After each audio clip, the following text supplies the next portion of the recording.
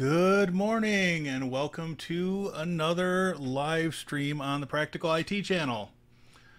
My name is Jeremy. I'm your host and benevolent dictator for life. Uh, yeah, I'm on my third cup of coffee, so I'm I'm feeling a, feeling a little bit uh, caffeinated this morning. Uh, so uh, have a few things to cover today. Good morning, David. Have a few things to cover today, and I'm going to try to keep this fairly short. Uh, I do have to make a trip down to Chicago, actually north of Chicago, and back uh, this afternoon slash evening with my dad, uh, related to his business, and um, so yeah, I I need to get uh, through this and get mentally prepped for eight hours in a car and uh, a couple of hours uh, uh, down in the Illinois area. So it should be an adventure. Uh, thankfully, I have uh, I, I, convinced the old man to uh, let me put the put his license plate on my iPass so I we don't have to stop and pay tolls. It's all done electronically, and uh, he'll be able to settle up with me later. all right, so um, switch over to my notes. All right, so uh, trying to keep with my format that I'm trying to, to lock myself into.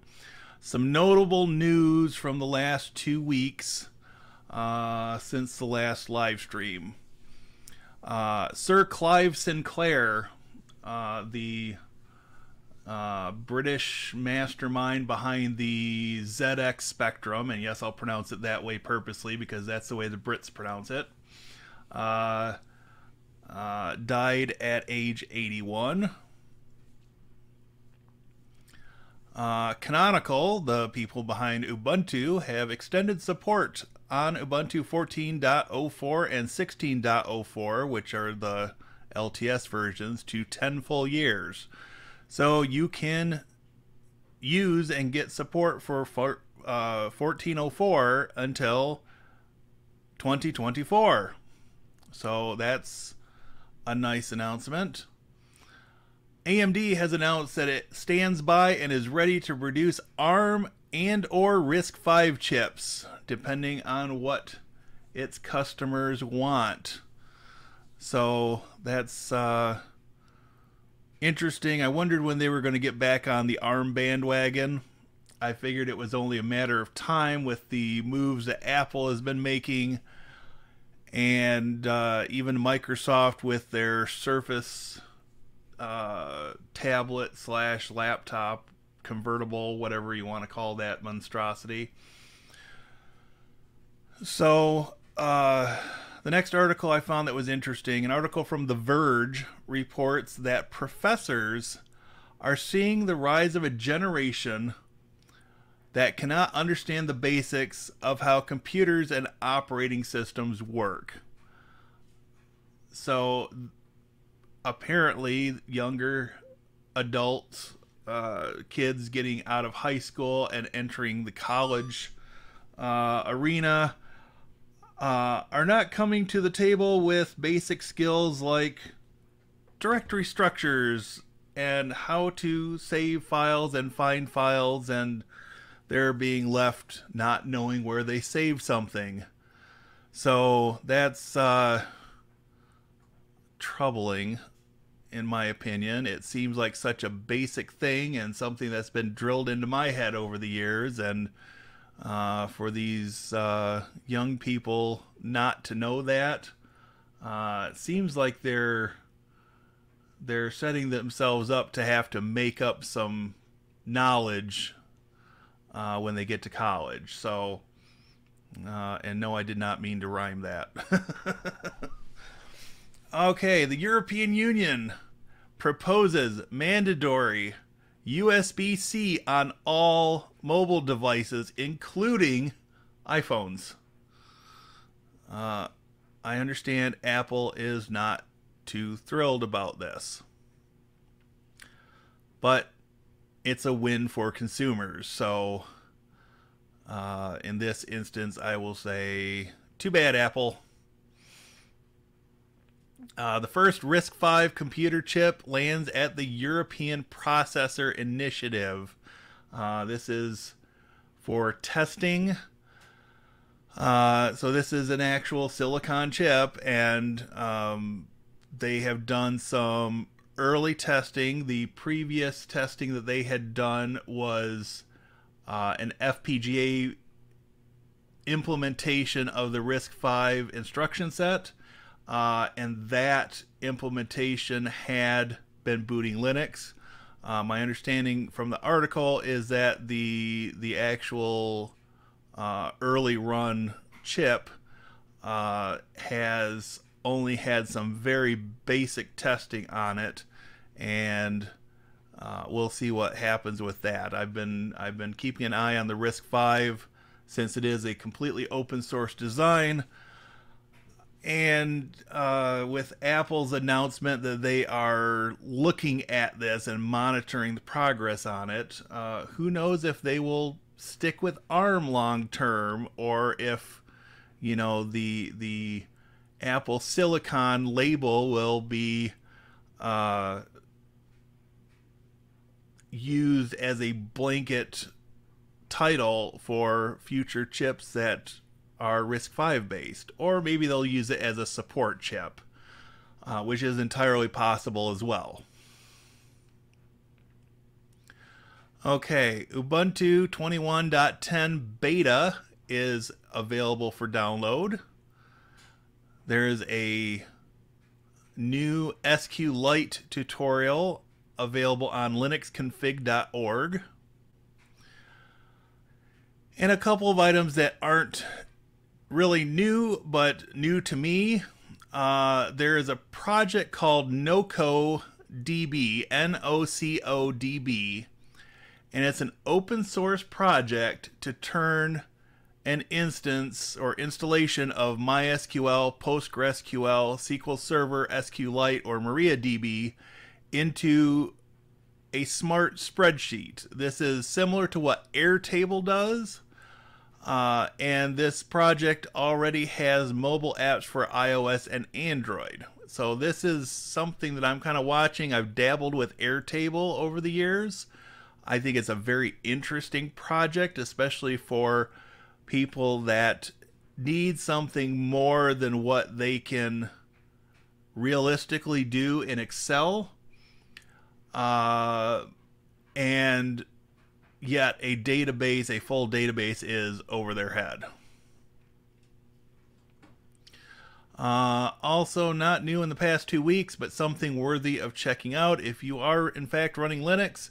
Uh, Ventoy, which is a project that I've covered before, uh, the Linux version now comes with a graphical interface. And this is an actual native graphical interface. It's not the uh, web interface that had come with it. Uh, you are not limited anymore to the web interface or the command line version. You can use a graphical interface and it basically operates the same as the Windows version does.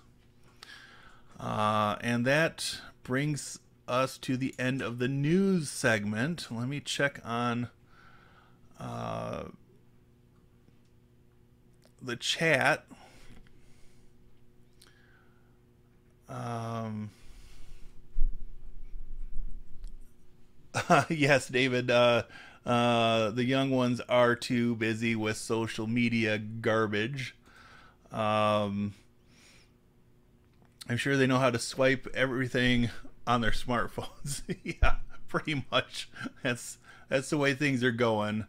Uh, unfortunately, parents are putting um, touchscreen devices in the hands of kids when they're, you know, six months old and up, and that's what they natively know, and anything beyond that is right over their heads. Um, so, good morning, Tony. Welcome. Um,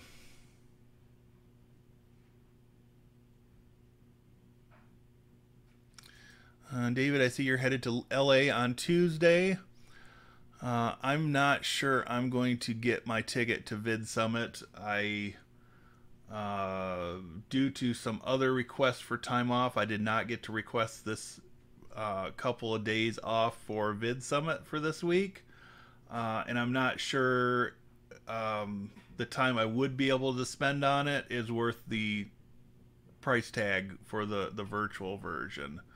Uh, but I do look forward to hearing about it um, in in a future video. I hope you'll talk about it in a future video. So, uh, let's see. All right. So, announcements for today. Uh, as I mentioned at the beginning, uh, or close to the beginning, the stream is going to be a little bit shorter. So I'm trying to rush through a few things right now so I can spend a little bit more time on a couple of other things. Uh, I'm looking to wrap this up between 12:15 and 12:30 uh, because I do have to make a trip with my dad to the Chicago area this afternoon, so that's going to be a bunch of driving. Uh, at this point, the live stream is going to continue on a bi-weekly basis. The next planned live stream is going to be Sunday, October 10th at 11 a.m. Eastern.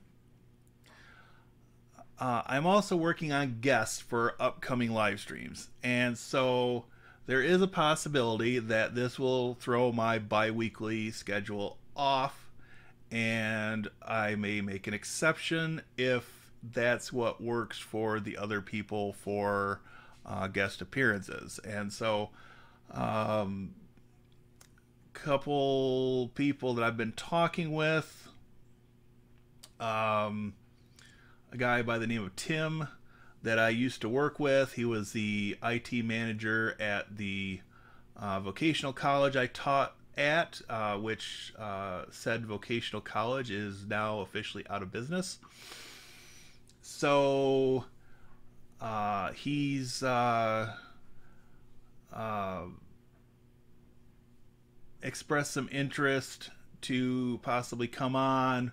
Uh, that live stream would probably have something a little bit more to do with Windows uh, because that's his sort of um, specialty. And uh, perhaps he'll be on with um, one of his former, um, I don't know if you call it a lackey or a minion or um, uh, a, a, student helper type person. Um, so uh, turns out that this uh, this student who is just uh, starting his first job recently has actually seen my fog videos, uh, or at least one of them. So that's that's kind of exciting to get somebody on again that has seen my videos or a few of my videos anyways uh, and is willing to come on and and share some experiences. Uh okay the other thing and i'm going to paste this into chat here momentarily uh, i have started setting up a space on matrix uh, which for those who are not in the know, Matrix is similar to um, Discord and Slack, etc. Um, only it's open source and it's end to end encrypted. And after a lot of deliberation over this, I set up a space, which is, you know, their terminology. I've created a general room in there, and uh, that's where I will be spending some time. Not today necessarily, Uh, I'm not sure if I've got the app on my phone yet, but uh, the um, the recommended app uh, for most people is uh, let's see, Element. Um, there is a web based interface for this as well. Um, and so, yeah, that's um, what I've decided to do for a uh, sort of chat environment for this. I will be adding additional rooms. Um, let me see if I can bring this up. Um, see, share, share screen. So, uh, I have pasted the uh, link directly to my space um, on on the Matrix server, and like I said, I've only got the general um, room open at the moment. Uh, so my plan with this is to hopefully after the after the live streams to to keep the conversation going for 30 minutes 45 minutes starting with uh, the next live stream. Um, and then i may be hanging out in here a couple nights a week. Um, and i will be monitoring it for uh, questions and and different things like that. So uh, that's where I've decided to go. I I don't know something about Slack and Discord just kind of rubbed me the wrong way, and after looking at a bunch of videos and reading more than I care to admit about these different chat type uh, applications, uh, Matrix is what I settled on. So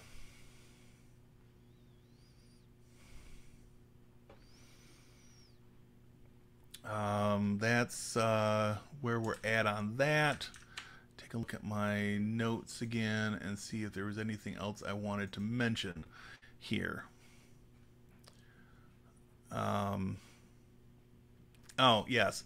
Uh, the other detail on this is that, like I said, this is currently running on a public server. So know that your uh, going into this, you are at the mercy of the terms of service of the public server. However, I am contemplating spinning up, and it probably won't happen until early 2022, but uh, spinning up a VPS instance and running Element on that. And that will be completely mine and uh, again something that I will I will support through contributions to the channel and whatnot. So uh, look for that at the beginning of 2022. So, um, all right, so let's minimize that and come on over here. So hmm. okay. Apparently I lost connection to my camera. Um huh. Well, there it goes. Not sure why that happened, but we'll work with it. Okay.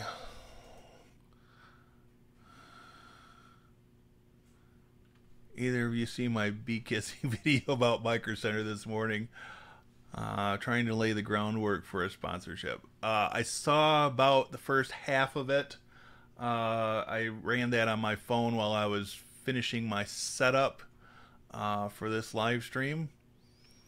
Uh, and uh, I will likely watch the rest of it while I'm finishing my prep for the Chicago trip. So, let's see.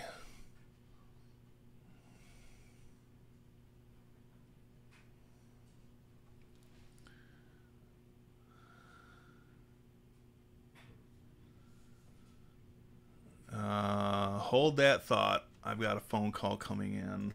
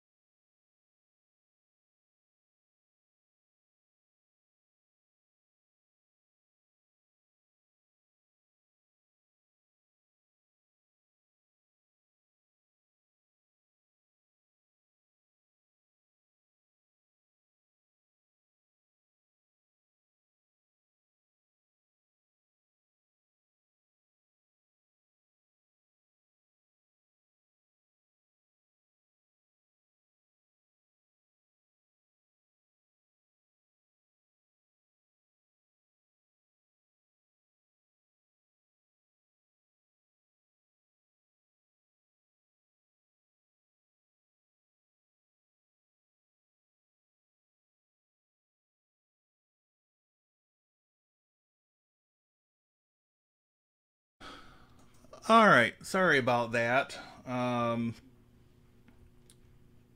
my uh, my dad called wanting some details on the trip, so I did get his Garmin updated.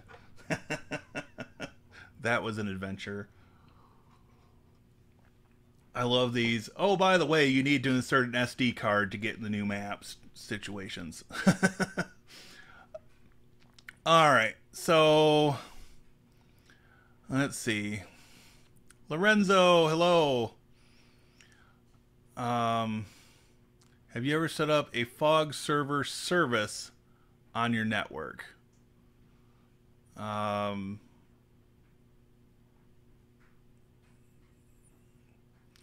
I don't know what you necessarily mean by a fog server service. I've had fog server running on my network, which is all I really need to consider it a service. Uh, if if you have something else in mind, um, please feel free to clarify. Um,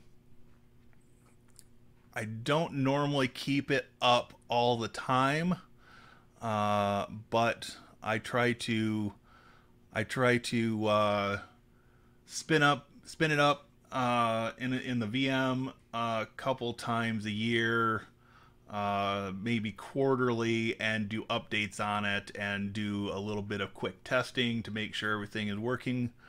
Um, but um, Fog has been slowing down their development lately. So I've not been doing quite as much with it. With that being said, um, I was lurking in their forums I don't know, a week and a half ago. And the developers that are left on the project uh, were suggesting people consider running the development version. Uh, I'm hoping that they will um, get a new production ready version out uh, at some point this fall.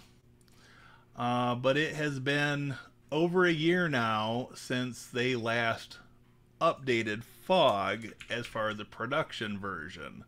159 was released on September 13th of 2020. Excuse me. Now, you know, if if um,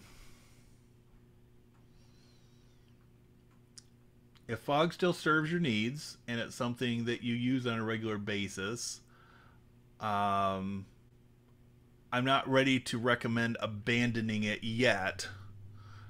Uh, but it's one of those situations where since the development has slowed down, I would recommend starting to investigate other solutions in case they decide to pull the plug at some point and another group of developers doesn't pick it up. Um,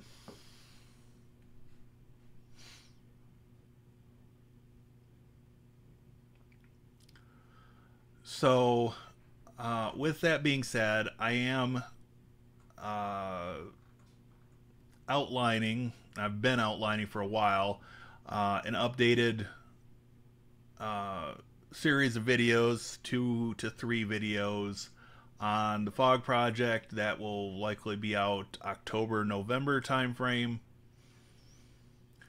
Uh, and it will go over installing the the development version and testing that and um, discussing any oddities I might discover in that testing. Okay, so we're about 30 minutes in. And so I wanted to take a look at uh, Ubuntu 21.10 beta. I'll get this started up. And then I will switch over here and take my self off the screen and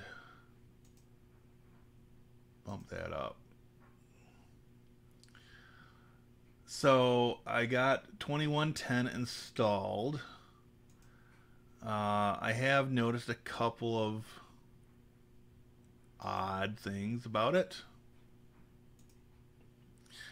Uh, but it is still beta. It's not even made it to release candidate status yet. Um, so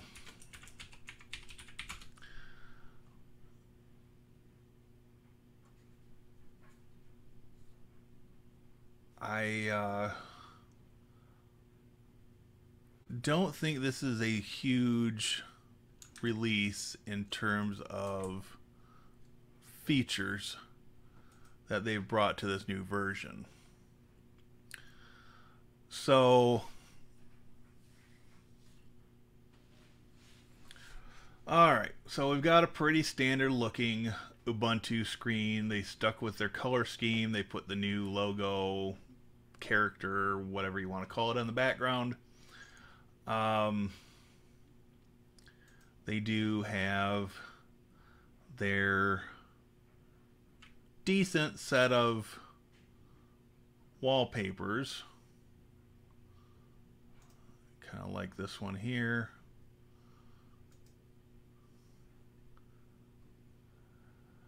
So the the new things that they pointed out, um, activities has a new look in GNOME 40.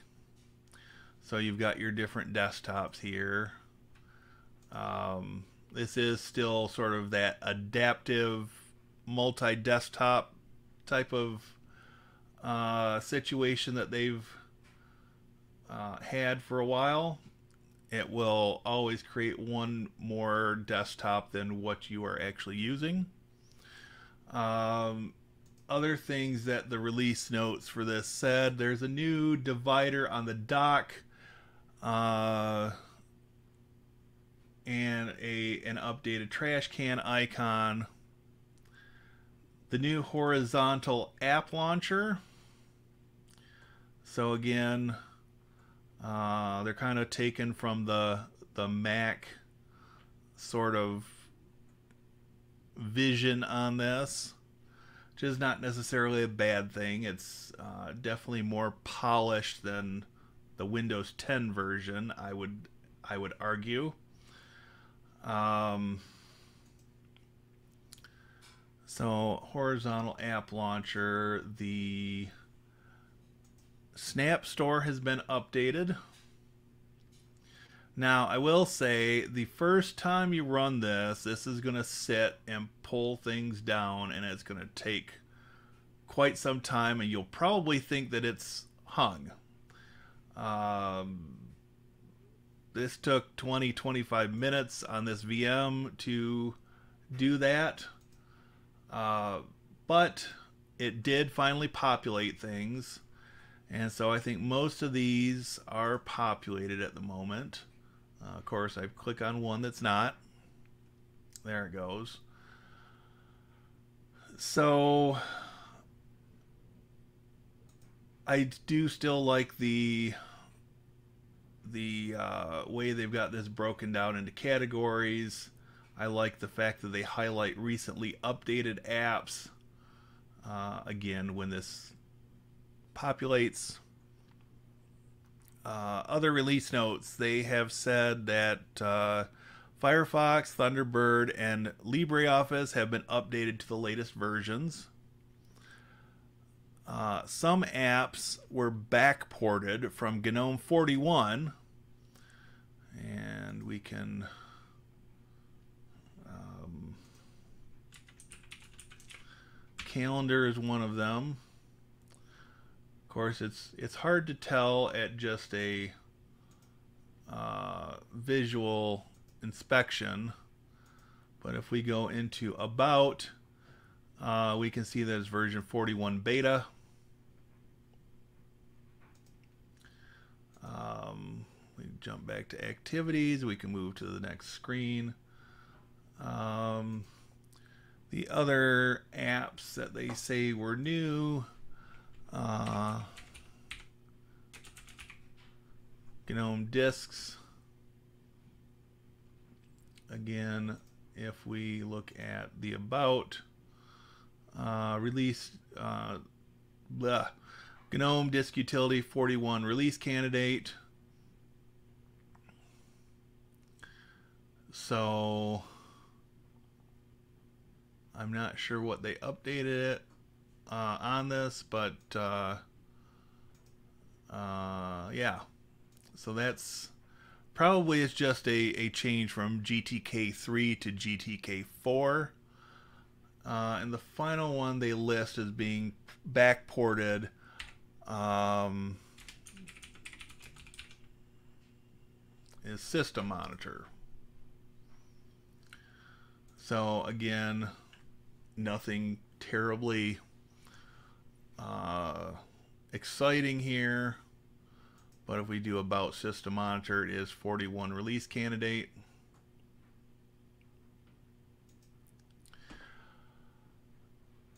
As far as, excuse me, as far as odd behavior I've seen, um,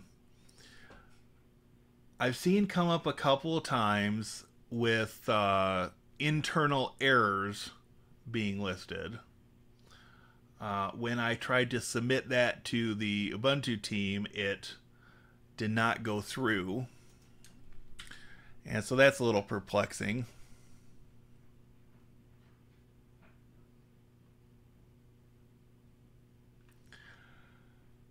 And um, I'm hoping that they'll have that figured out by the time they get some release candidates available. Um,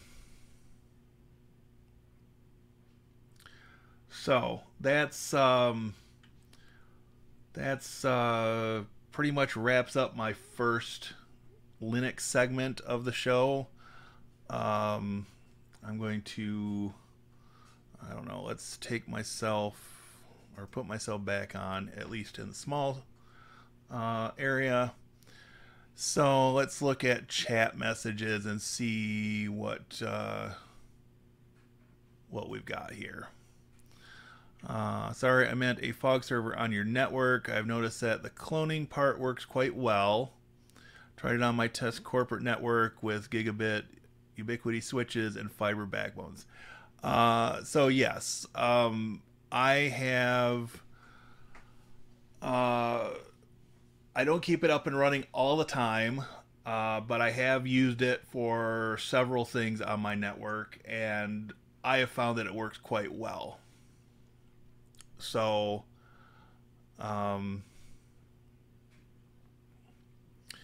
uh, and Pat, welcome. I'm a beginner, and my friend is coming over. We're going to try to upload uh, Linux Cinnamon Mint. Um, would that still be the best option for me? So, uh, that's a great question, Pat. Um, so, Mint is considered one of the more user friendly Linux distributions. Um, starting, uh, well, uh, let me back up. Uh, Linux Mint is based on or built on top of Ubuntu. Uh, many people find that Mint is more user friendly. Uh, there are a few things that I nitpick about uh, with with uh, Mint, uh, but uh, for new users, it's something you probably won't notice too much. So uh, I'm I'm coming at this from more than 20 years of using Linux, so I'm not always the best person to give advice to brand new users. Um, but I'm happy to answer questions along the way. So, um,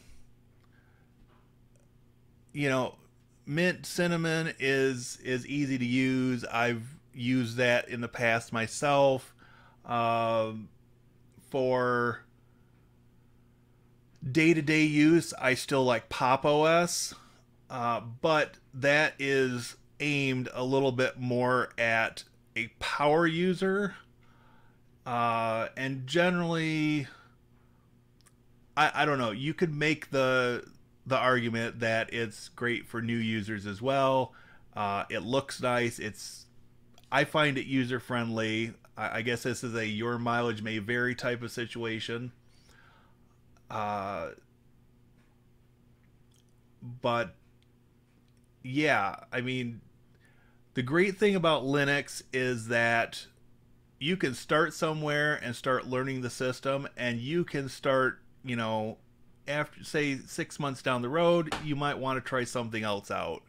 So you back up your data and you install the next thing that interests you. Uh, the great part of it is that it's free. You know, it's not going to cost you anything to, you know, go from Mint to Pop OS or what have you down the road. Uh, and if you decide you don't like that one, you can always go back.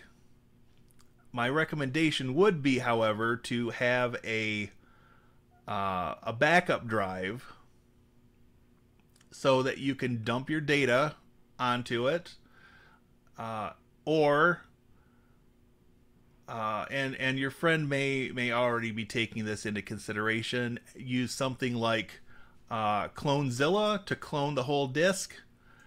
Uh, and that way, if you decide you want to go back, uh, you can restore your Mint system exactly as it was the day that you did the image backup. Uh, and again, don't worry if some of this terminology is over your head at the moment.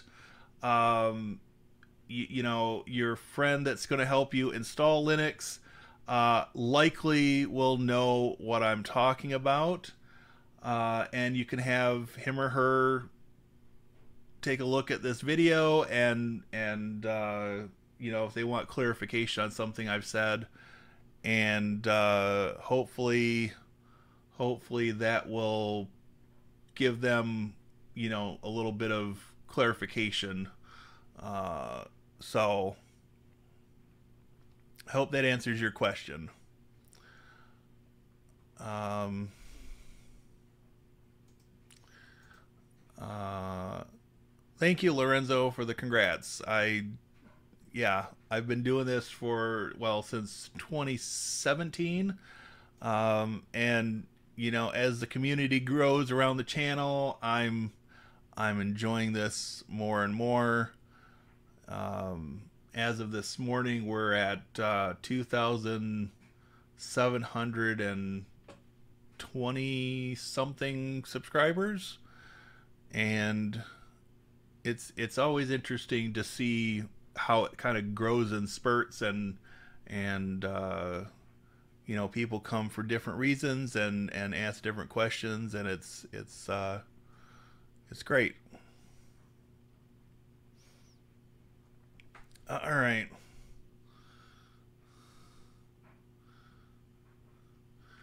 So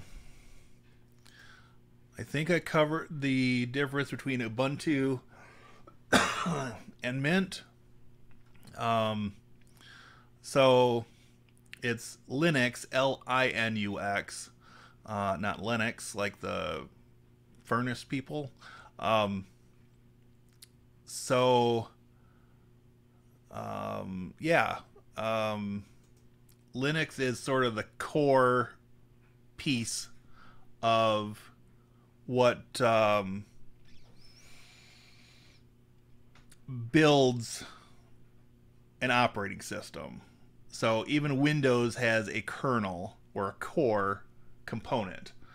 Uh, around that, you've got different uh, utilities and applications that make it into a full operating system. Uh, excuse me. Um, yeah. Um, there are a lot of good videos out there. Uh, I've not done one in depth in a while. If I've actually made this video, um, explaining you know you know how the the operating system is built up. Again, this is generally stuff that new users don't need to know right away. Uh, at least not new users in 2021. Now, back in 27, uh, 1997, when I started with Linux, using various Linux distributions, it was a different, different ball game.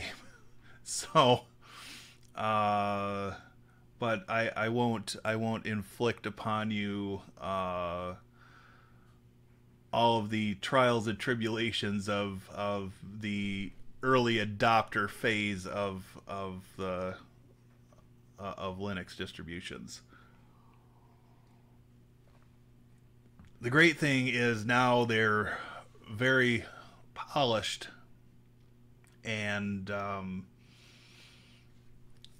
really depending on what you're using it for a lot of people could use Linux, especially those who are used to using Chromebooks or tablets, uh, because those systems do not have uh, the ability to run Windows applications, and so that argument kind of goes out the window.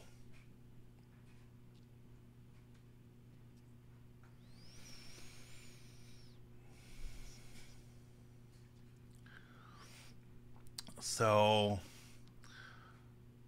um, 97 was past the console only era. Um, but the, the, uh, oh, the, uh, window managers available at the time were pretty crude looking, uh, shall we say. Um, that was still still a time when we were uh, marching uphill, uh, trying to fight the battle of getting vendors to support Linux and um, have drivers available, even for things like sound cards and printers and and things of that nature. Um, it it was it was a battle. Um, today, things pretty much just work. Uh, and let me get out of this. And if you look at, you know, something like System76.com, and no, this video is not sponsored by them, but I, I do have a, an admiration for the company as a whole. Um, if you look at System 76 and the products they have, uh, anything from mini desktops uh, built on the Intel NUC platform to laptops to desktops with custom uh, casing um, to servers. Um, you know, this is the company behind Pop OS. Um, we've come a long way. In, in 97 and you know up through 2005 ish it was it was quite difficult and painful to get uh, most Linux distributions to run on a laptop and have it work in a usable fashion. And today, you have companies like System 76 bringing out customized laptops that run Linux natively. And these aren't just your, you know, two generation old things, these are current generation. So we've got 11th generation Intel and, um, you know, 5000 series Ryzen uh, in these laptops.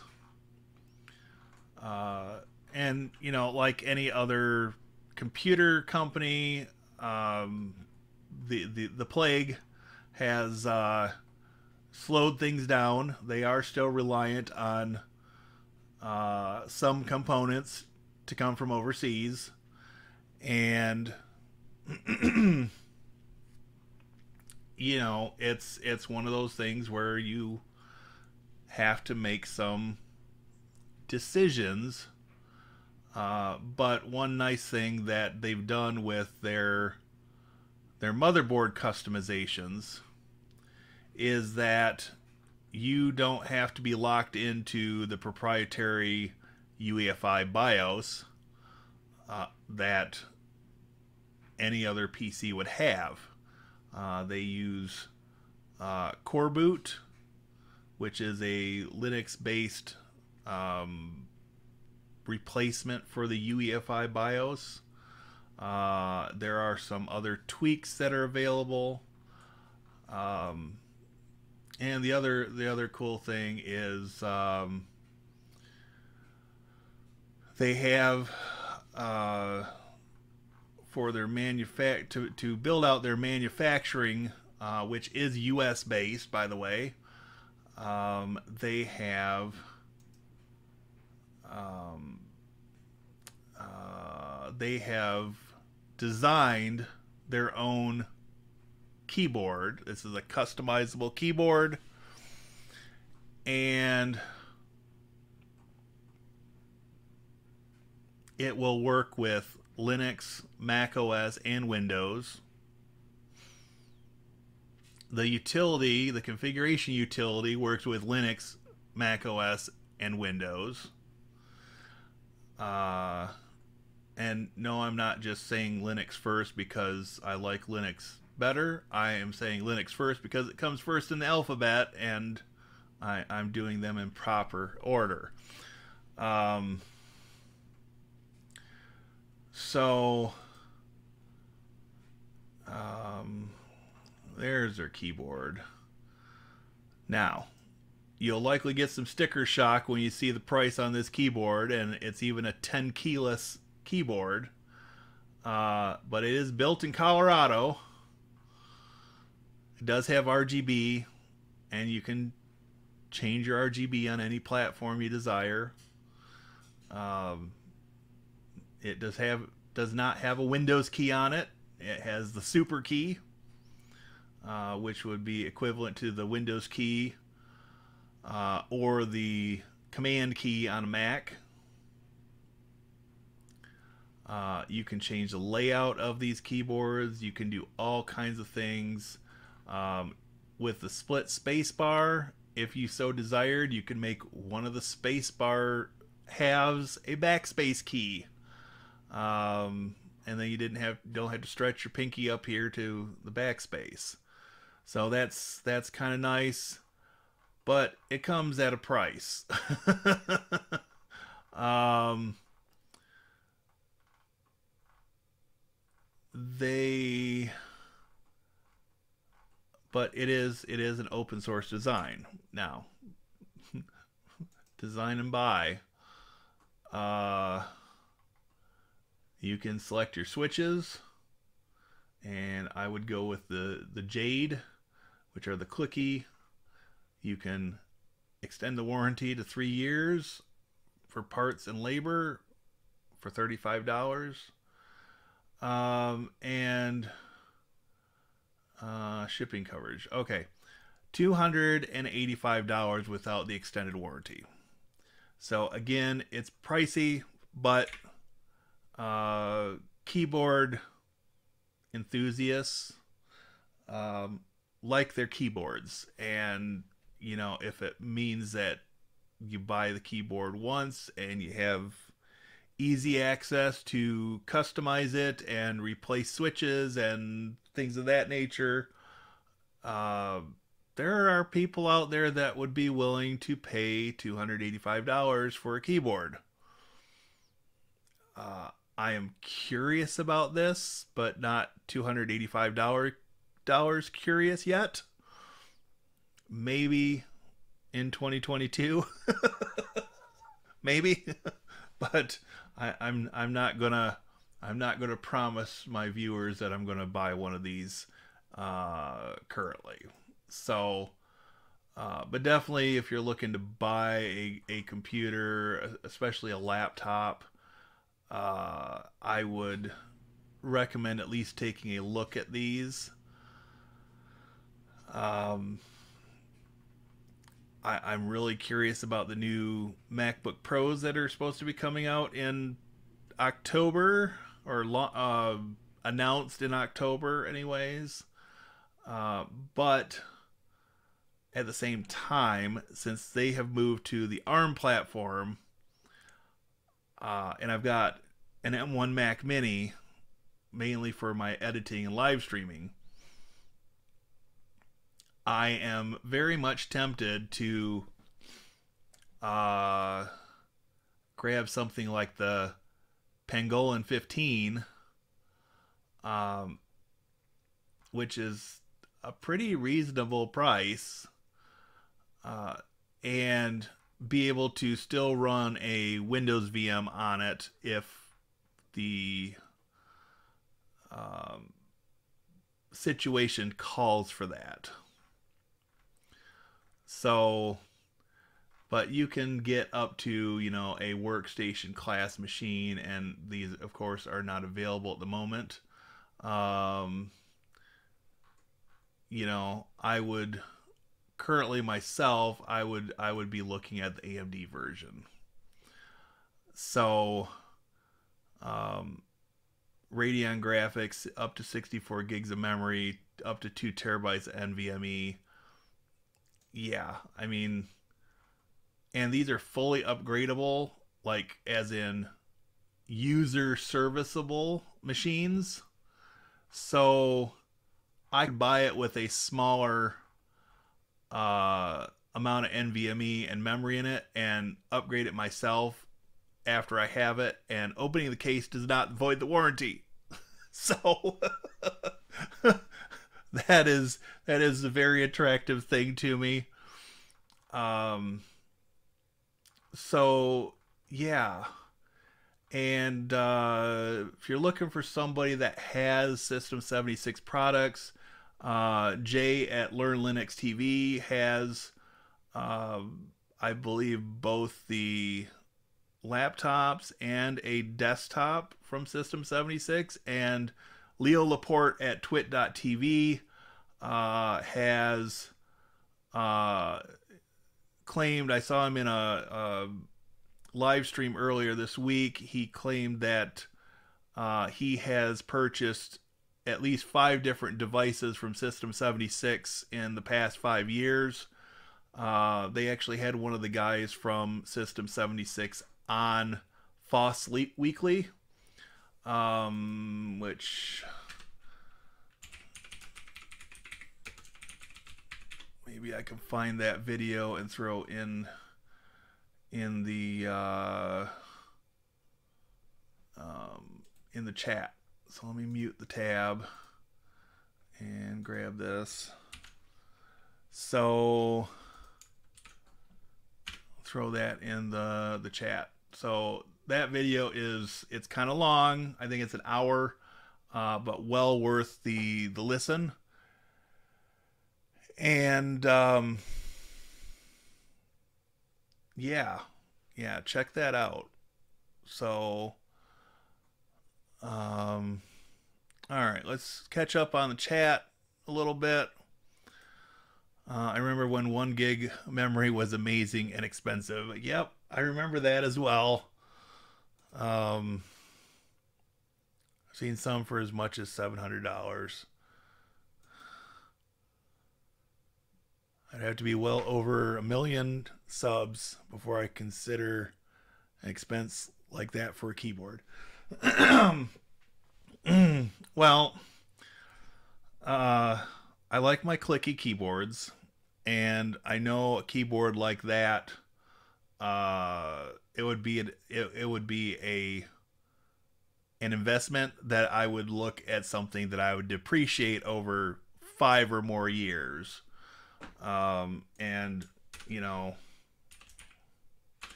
eh, that's not what I wanted. Uh,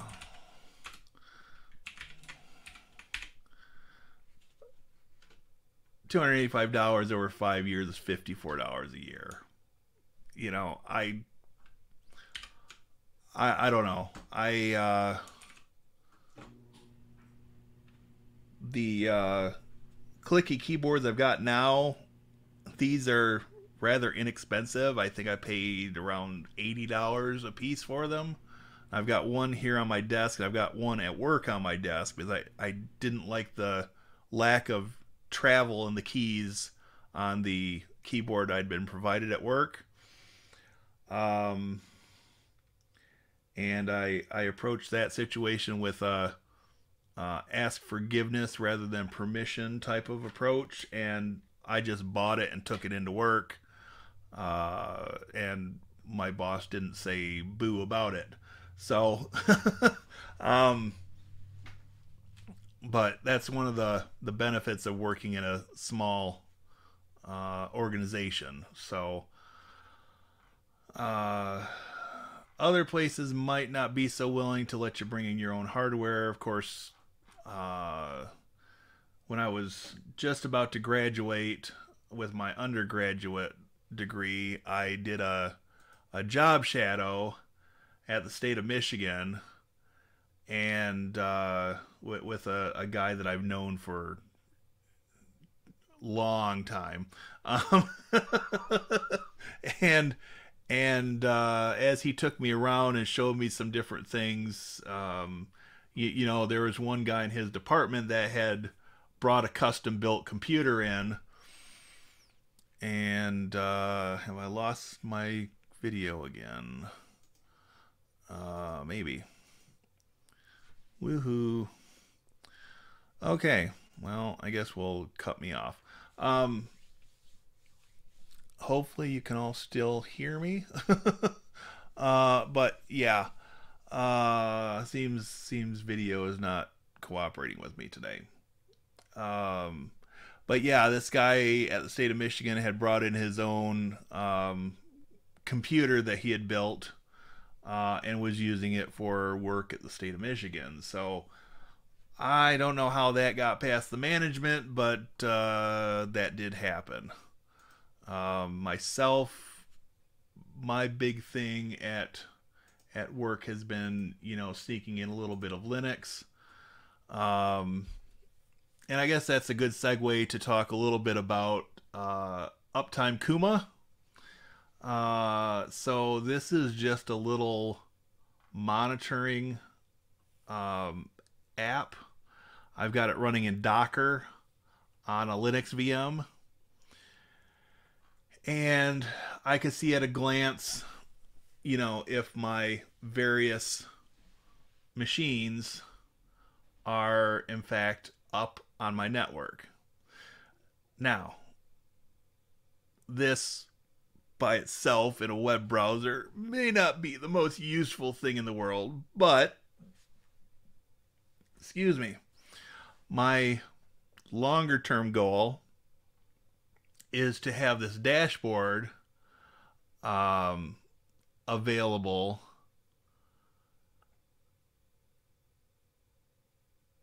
on a on a uh, Raspberry Pi running Screenly, which is a digital signage uh, software application, and so it'll just rotate anything I program on that for for uh, slides, I suppose you could call them, but it allows you to do uh, web-based items as slides. So I could have this rotating and, you know, put a monitor with a Raspberry Pi up on a shelf and at a glance I can be able to see, oh, everything's up, it looks good and you know, move on.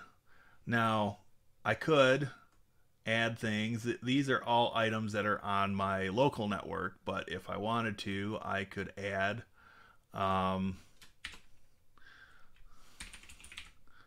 I could add Google and save that. And just like that, it starts monitoring google.com to verify that that's up. Now you get the little notifications down here in the bottom right corner. If something goes down, uh, it's going to be big old red uh, notifications popping up and keeping you notified of things. So, um, yeah, uh, that's that's been a nice little um, project to play with to start down the path of getting that prepped and ready to go. Um, in settings, it does have a light mode, which is almost painful to look at. Um, and you can change the heartbeat bar to the bottom of each item, or you could turn it off, uh, or you could say normal. Um, does let you set the time zone, change your password, um, and then you can export, which is something new in in the 162 version. And of course, you can clear all your statistics. So, um, otherwise, I mean, you can clear statistics by um,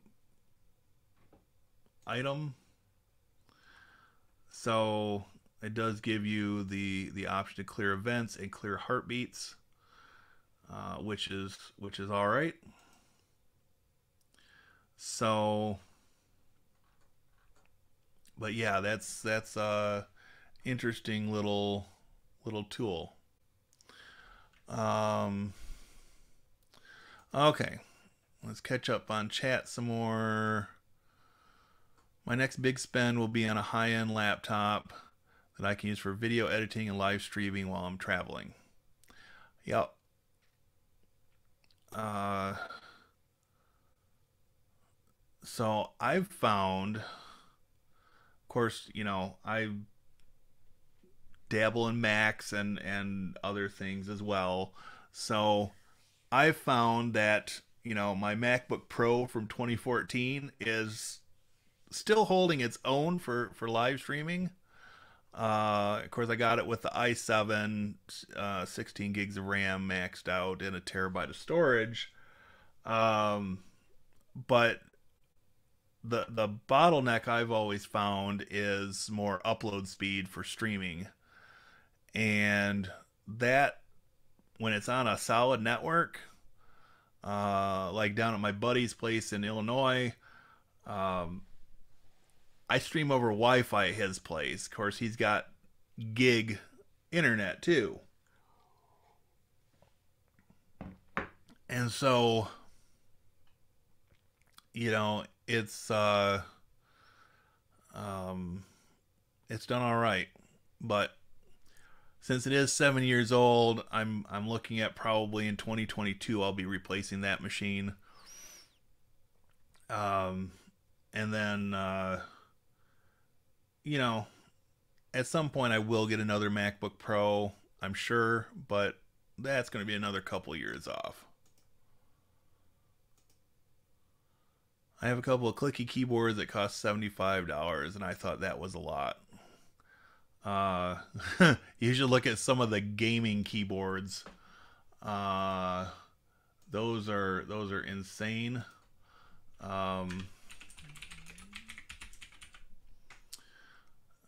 uh, just just as an example, um, let's see. Let's do four stars and up. And especially if you get into some of the uh, name brand ones. Uh,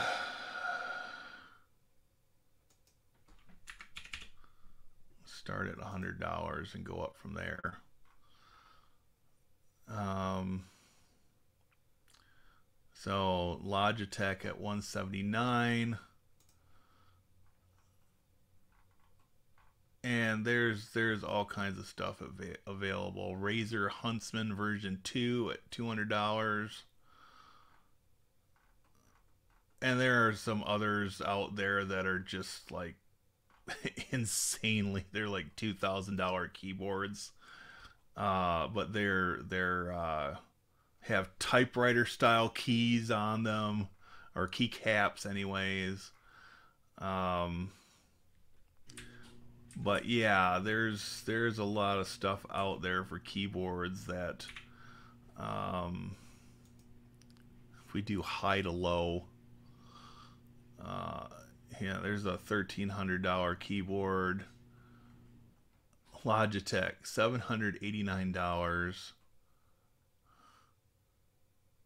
$615 these are some of these are just nuts. Just completely nuts. But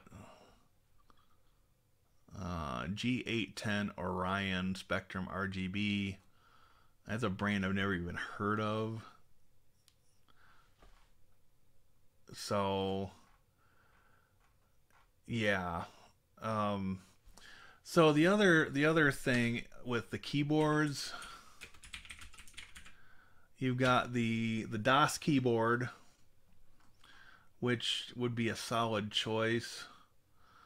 Uh, the thing I like about this is that um, you can get these with um, can get these without the the uh, printed keys. Uh, but you know, some of these are starting, you know, 179, 199, which you know, not bad in the grand scheme of things. But if you really want something custom,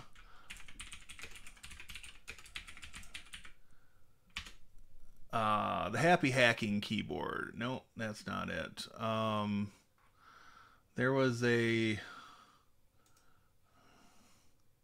So I've had one of these in the past, but the long past. I actually I think I've still got it, but I I ended up with a PS2 model because that's how long ago it was. Um, but these were one of the first Linux oriented keyboards that were on the market. Um,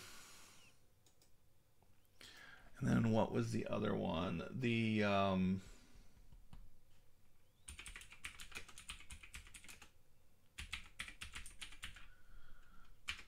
um,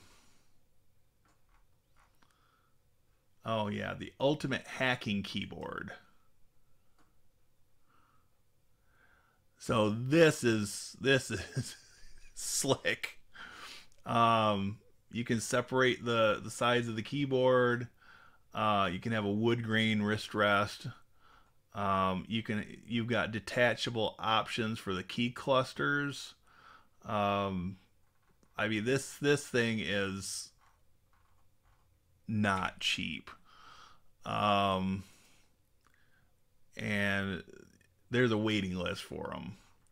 Uh, so these are the Ultimate Hacking Keyboard 60 key version 2 production. Uh, earliest orders ship in September. New orders are expected to ship January 2022. Uh, they do give you several options for uh, switch types. And I'm not sure if they even give you a price. So let's just add to cart and see how much we're looking at. So even this is $275. And I, I'm just, I'm kind of uh, on the fence whether to get something like this just for the, the cool factor or to go with the the built in Colorado um, keyboard from System 76. But I I don't know. I'm I'm I've become more of a keyboard snob in recent years uh, because I spent a bunch of years on just mushy garbage keyboards, and um, I'm trying to think about you, you know avoiding carpal tunnel and some of these things, and yeah, it's uh, taking me down the rabbit hole. uh, all right. Uh, during our regulator audit last week in Utica, New York, I brought my own camera for WebEx. Yeah, I believe it. Uh, neat little network monitoring tool. Thanks for sharing. Uh, you're welcome. And just for the sake of argument, update Kuma. Um, uh, Uptime Kuma is the name of it. uh, so, going to take me there. There we go. So I'll paste this in, and there are walkthroughs. uh, the guy that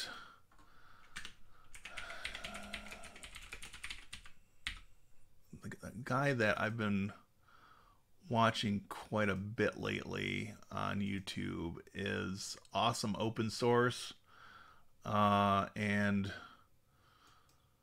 um, he, some of the stuff that he does, especially with Docker, is pretty amazing. And um,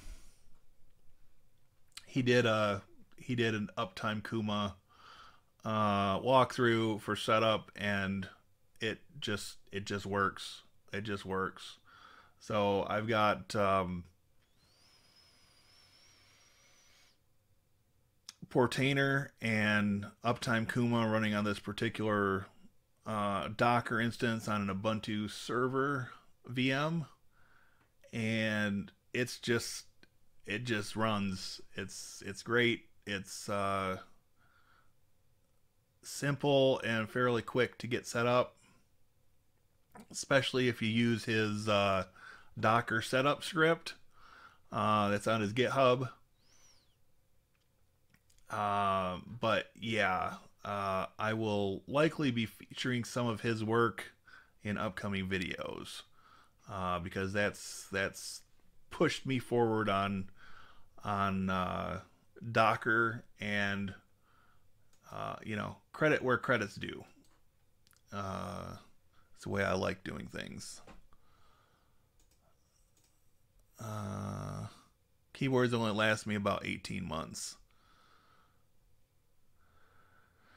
Uh, let's see. One cup of coffee, tears.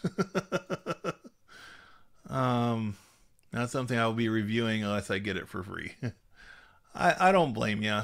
I don't blame you. In a future product, I want to add a Raspberry Pi to my network rack that will have a 7 inch showing network activity. Need to do some research.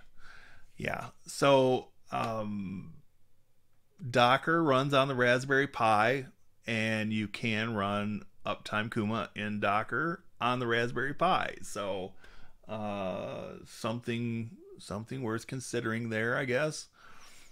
Um,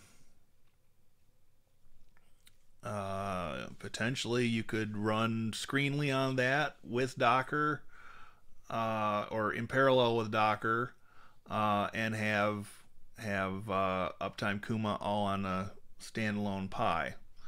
Um, I, I'm really kind of waiting on purchasing more Pi stuff until the um, the compute module fours are are back and available a little more widely than what they are currently. Um, I think we talked about this last week, but um, many of the higher end options for for the CM4 uh, are out of stock, and it seems like they they uh, tend to be uh, out of stock quite a bit lately.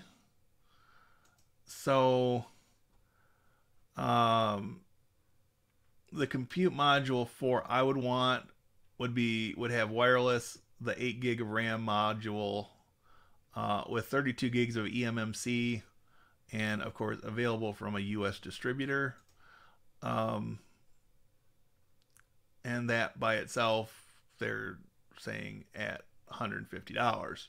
But uh, that gets you away from the issues with the compact flash, uh, or not compact flash, the micro SD cards on the standard boards. Um, wow. And this is saying it's the 4 gig model with no eMMC. Um, yeah, that's not what I specified in the little wizard. Go figure. Um, let's see what uh, these other distributors have available. So I want 8 gigs of RAM and 32 gigs of storage with the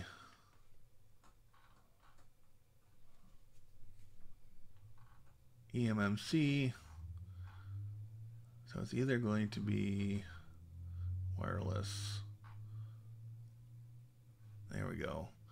So 8 gigs wireless, 8 gigs, 32 eMMC uh, is going to be this mod model.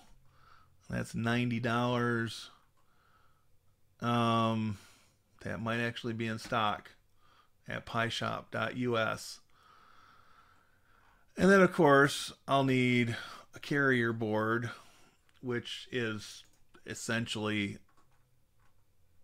uh, like a motherboard.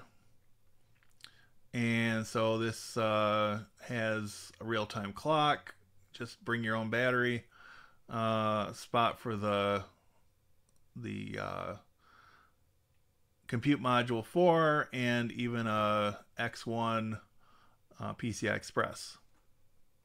So that's kind of kind of uh, neat and something that I'm I'm very hopeful I can get my hands on in the next month or two. Hmm, excuse me.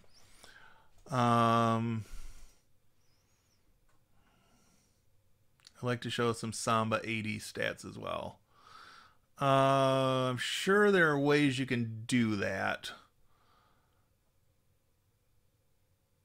I'm sure there are ways you can do that.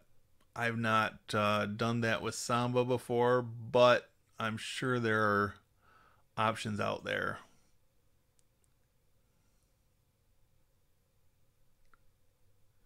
So I'm going to try it in Docker on the Synology NAS. Very nice. I uh, if you if you get that running and you do a video on it, I will definitely be in line to watch that video.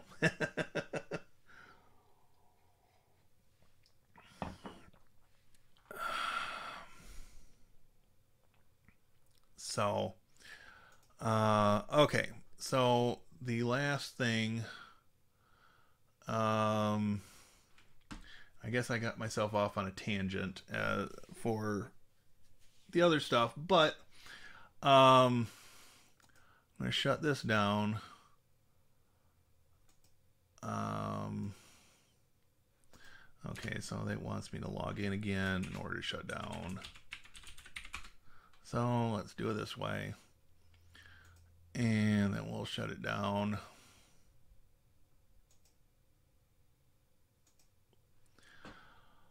Okay, so the other thing I wanted to talk about quickly is that um,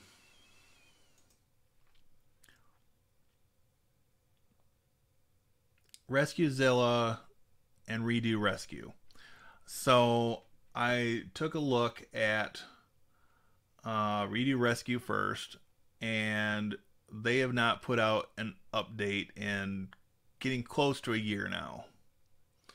Uh, Redo Rescue was earlier this year in June, and I read on their website uh, or their GitHub page, I read somewhere that they're on a six month release schedule. So that should put their next release out about December of this year. So, um, that led me to uh, it's a 60 gig hard drive, so I need to add another 60 gig. Uh, that led me to looking through some of the notes on on Redo Rescue, and they mentioned a project called uh, Fox Fox Clone, uh, which is a similar project in some ways, but there are things that it doesn't do that both RescueZilla and Redo Rescue will do. So I'm going to add another SCSI drive and I'm going to put that on once this populates, put that on local and I'm going to make that I'm going to make that a 65 gig just to give myself a little wiggle room. And so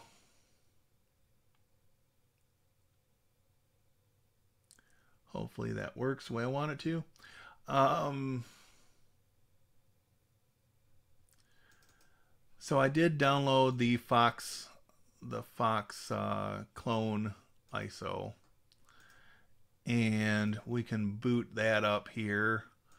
Um, and whether I'll do the clone or not, I I don't know, but we will we will boot this up just for the sake of argument. Um, I need to check uh, boot order, and I need to move the optical up. Okay, so this is kind of interesting. The the Foxclone is kind of interesting because it is a uh, custom built application. It's not based on another product. Um, it is built on top of Ubuntu, but um, but yeah. Um, Uh, yes, Tony. Uh, the, the Uptime Kuma is, uh, it should work on on uh, the Synology NAS on Docker without an issue, so far as I know.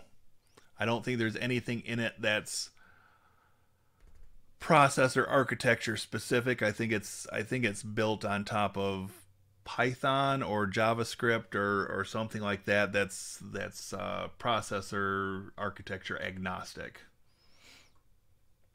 So, um, I will be interested to hear your thoughts on it if you get it going. Okay, so uh, you boot to a desktop for Foxclone, and you have the application here on the desktop and opens up. It's going to read your drives. And so you select the drive you want to back up and you select the partitions and then you select your destination drive. So I'll say that. And that's not currently formatted, so that's not going to let me do it. But that's okay for this particular instance. We don't need to go further. Uh, so backup restores a similar layout. Uh, you can clone from one drive to another. So this may in fact drive to drive, go from SDA to SDB, and we could clone. It's got a verify option, uh, a few settings for compression, and this is uh, written by Andy Hardwick and Larry Hale. Um, and it's written in Object Pascal using the Lazarus development environment. And this was put out on August 22nd of this year. So it is the most recent version. But again, if we click clone, uh, warning target drive will be overwritten. This is this is my first uh, time going through this. So yeah, uh, it's going to do its thing, and it's uh, now granted I've not updated the drives in my Proxmox machine yet, so I've got the drives, I just haven't got them in the machine yet. Um, so this is going to take a while. This is saying nine minutes. Um, uh, let's see. Uh, overall, yeah, nine minutes and twenty two eight fifty five. So it's it's going down pretty decent, but it's these drives are not fast. So um, for cloning, that I suppose this isn't a uh, isn't a bad utility to have in your uh, arsenal of, of tech tools. Um, this is the very first testing I've done with it because I just heard of the project today. So, um, your mileage may vary. I will likely do a a uh, video on this in the future.